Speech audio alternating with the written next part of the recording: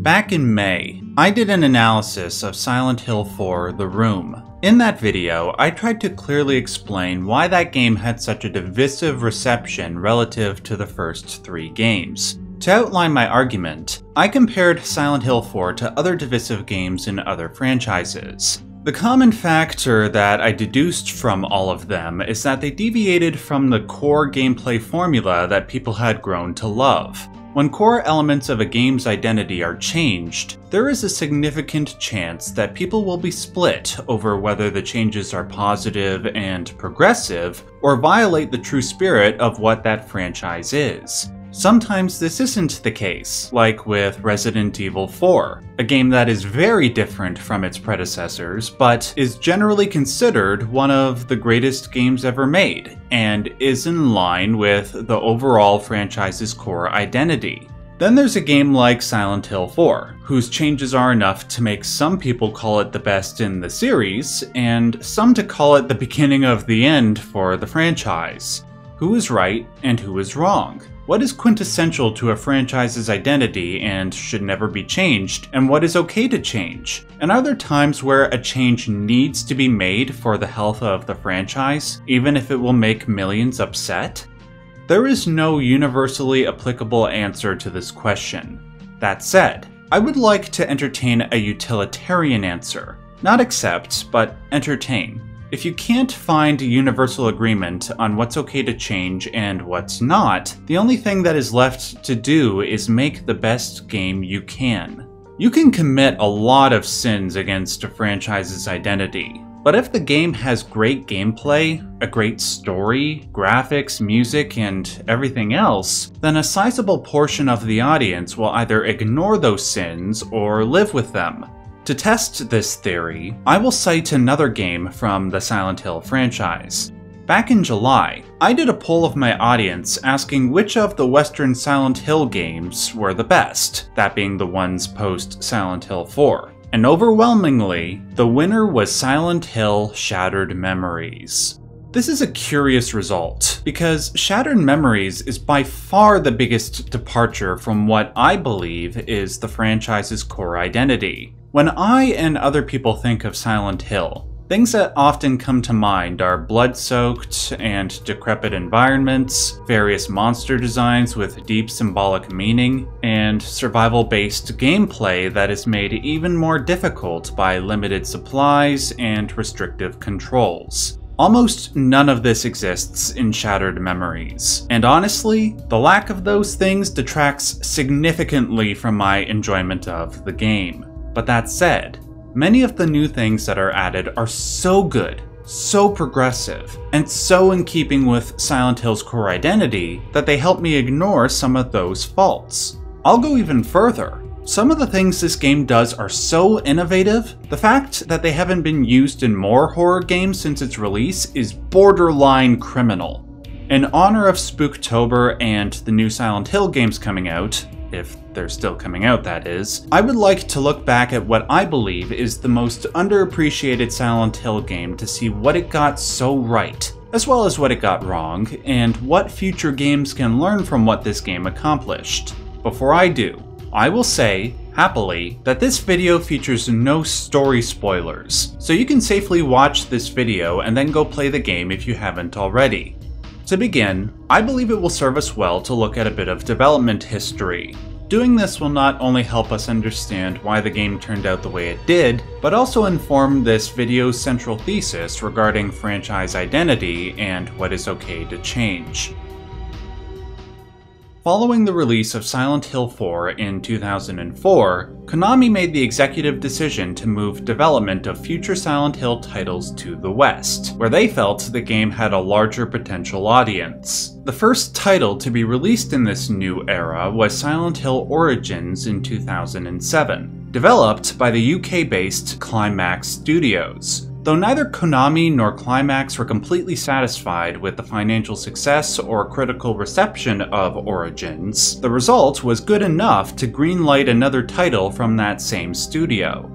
This next game, however, would have to do something innovative to reignite interest in the IP. After all, sales and critical reception had been consistently dipping ever since the first two games. Former lead designer at Climax, Sam Barlow, had some reasonable ideas to address this decline. He knew from the relative beginning that to increase sales, the next game would be released on the Nintendo Wii, which was by far the most successful game console at the time. Plus, the interactivity of the Wii's motion controls could potentially introduce a new dimension of horror to the world of gaming. As for what creative direction the new title would take, well, that took a lot of time to flesh out. Barlow described the early days of Shattered Memories development as meandering. Several ideas were thrown out for what would follow Silent Hill Origins. An America-based producer for Silent Hill, William Mortell, wanted to make a Wii-based first-person shooter spin-off of Silent Hill, it would be called Brahms PD, worst title ever, and would follow an amnesiac police officer trying to find his partner.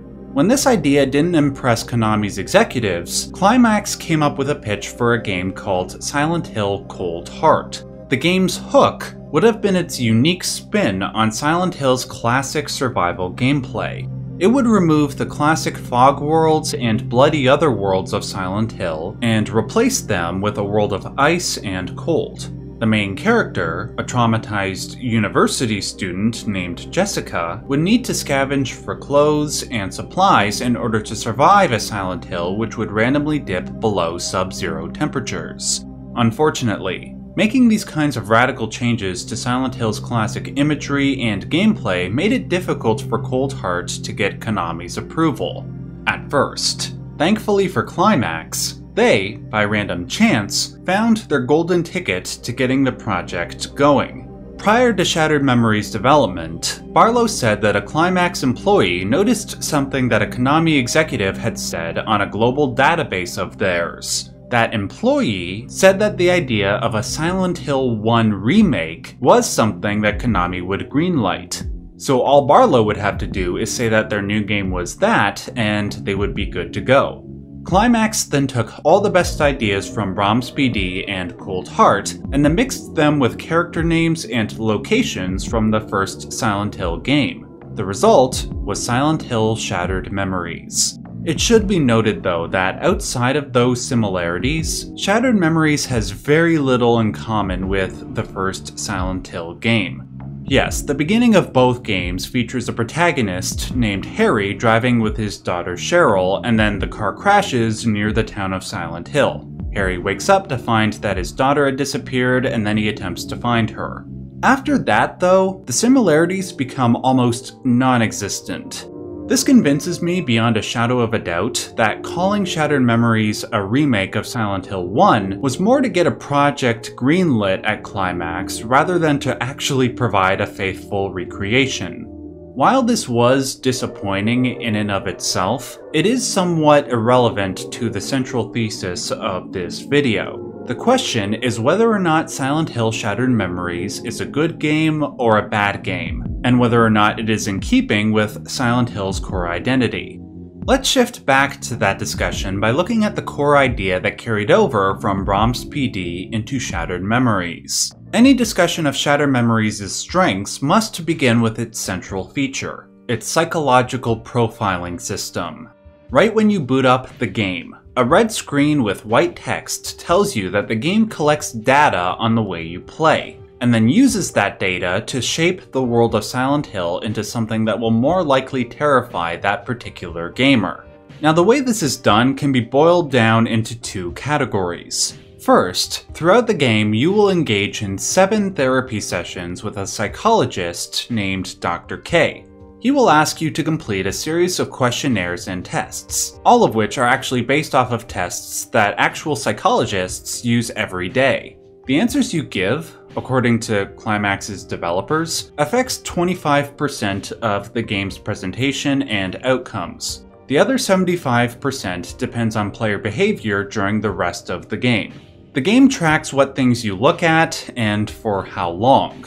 Do you go through the game fast, or do you like to explore your environment? Do you look at your map a lot, and do you mark your map to help you on your journey? Even which rooms you decide to go into will affect things. In other words, don't go into the women's bathroom. you know, whether it's in real life or the game. Yeah, I'm talking to you who played the game back in the day. Yeah, sure you were doing it because you were looking for collectibles. Yeah, sure, sure. The combination of these two factors changes various things, including character behavior and clothing, story outcomes, which include but are certainly not limited to the ending, what types of monsters you see, and what puzzles you can do. Now, due to the fact that this psychological profiling mechanic was relatively new at the time, its deepness and effectiveness will vary. To test how deep and effective the profiling system could be, I did two playthroughs of this game. The first time around, I answered all the psychologist's questions honestly, and then played the game as morally as I would any other game. On the second playthrough, I gave the opposite answers to all the psychologist's questions and tried to do the inverse of whatever I did outside of the therapy sessions. For research, some of the changes that worked included the way characters dressed and the way they acted, be it on their own or interacting with others. The first time around, the characters were behaved and dressed modestly, while the second time around, they were more extroverted and flirtatious. The environment and lore items would change in effective ways as well. For example, throughout the game you have random messages pop up on your phone that reveal the past lives of Silent Hill's denizens, be it your own or those of others.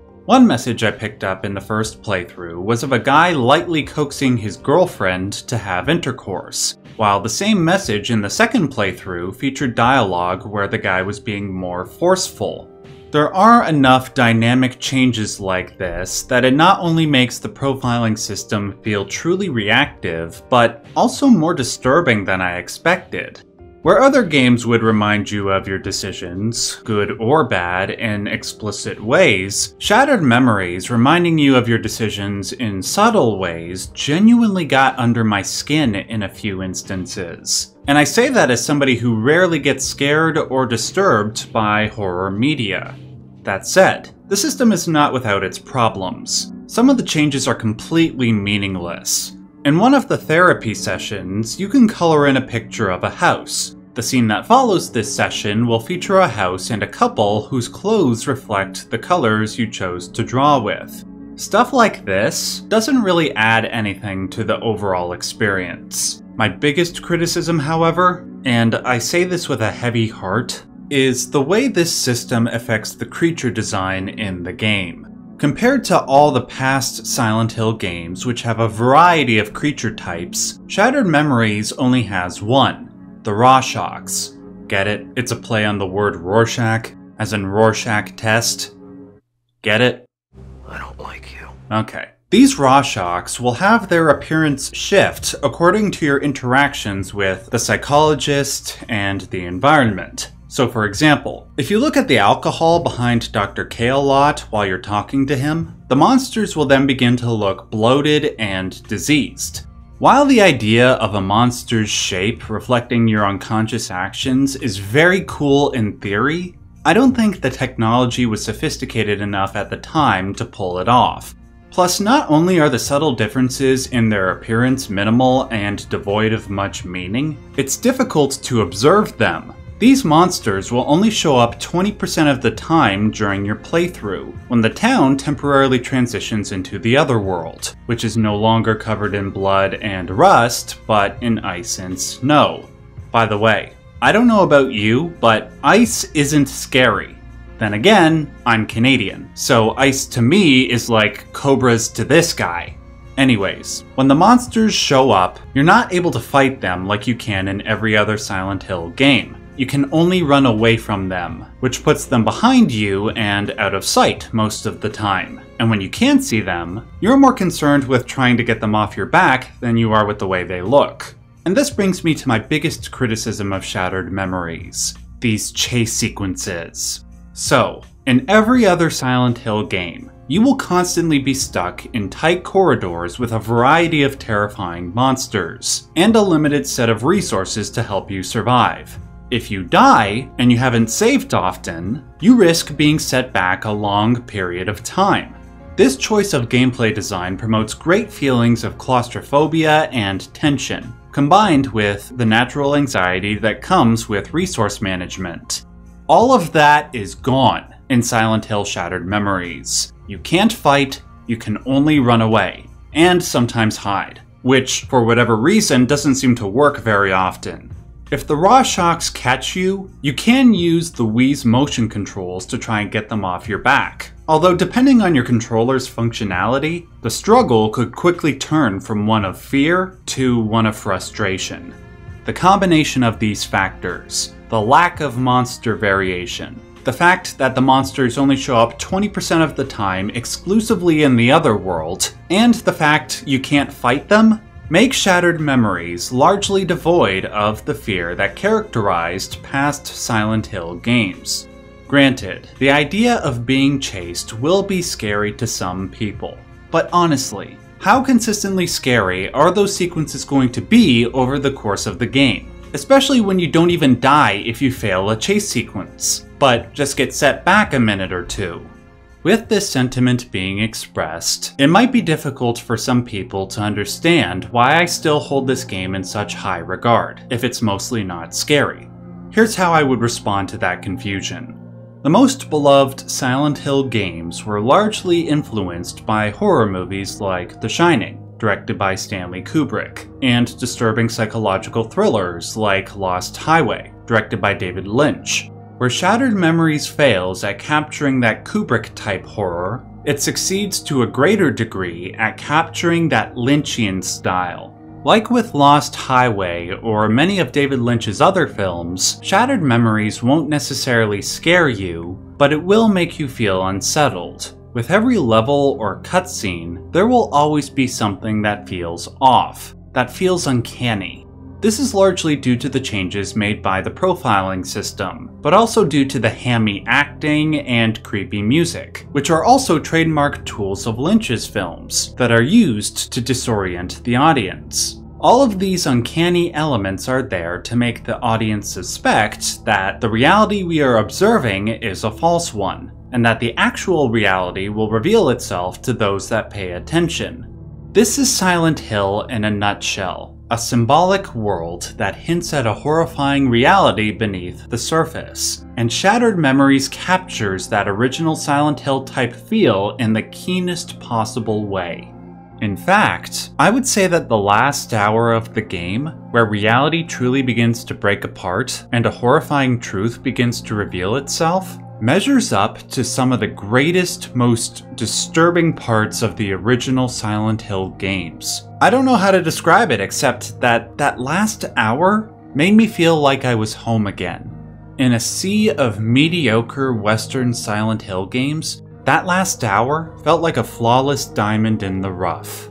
So, Despite the fact that Shattered Memories abandoned Silent Hill's core identifiers with its world design, the variety of creatures, the combat, and, for myself, the scariness, the feelings of unease and mystery are as strong and, in some respects, stronger than they have ever been. Add in a variety of puzzles that are fun and not at all frustrating like the ones in past games, as well as a powerful and very emotional reveal to the underlying mystery, and you got a game that, I believe, maintains the spirit of what Silent Hill is. Though the sum of Shattered Memories' parts is not enough for me to classify it as a great game, and it's far from the completeness of the original three, it is enough for me to view it as a good game, and worthy of the Silent Hill brand. If this video made you inclined to check out Silent Hill Shattered Memories, make sure to hit that like button. It's free and it helps out my channel a lot. If you want to emulate Shattered Memories, I will leave a link to an emulation tutorial in the description box below. I will also list the settings I used, which I would highly recommend you use as well, because it took me a while to make the game work without frame rate slowdown or graphical issues. That does it for me. Here's to the beginning of Spooktober, everybody. Expect much more horror-related content in the coming weeks. Until next time, remember to stay safe and stay out of the women's bathroom, Harry, you psycho.